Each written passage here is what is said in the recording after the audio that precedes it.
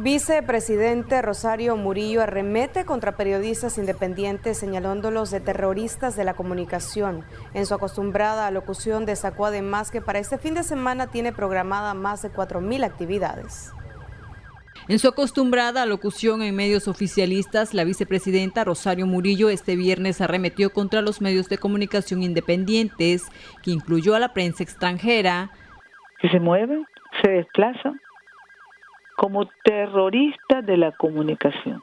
A veces las personas creen que ser comunicador les da carta de impunidad para convertir los espacios de comunicación en espacios de intimidación y de destrucción de la tranquilidad. Por eso decimos que son espacios de destrucción masiva los que se dan en todas partes y más desde toda esa media o espacios mediáticos que tienen una sola perspectiva, un solo enfoque, imperialista y colonialista. Los nuevos calificativos usados por la vicemandataria fueron chachalacos, parlanchines y miserables.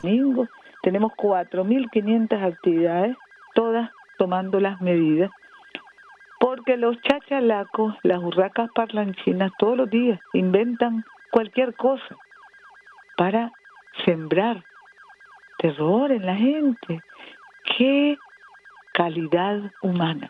La funcionaria también reveló los planes del gobierno para este fin de semana, que incluyen 4.500 actividades en distintos puntos del país. Para Acción 10, Marjorie Vargas.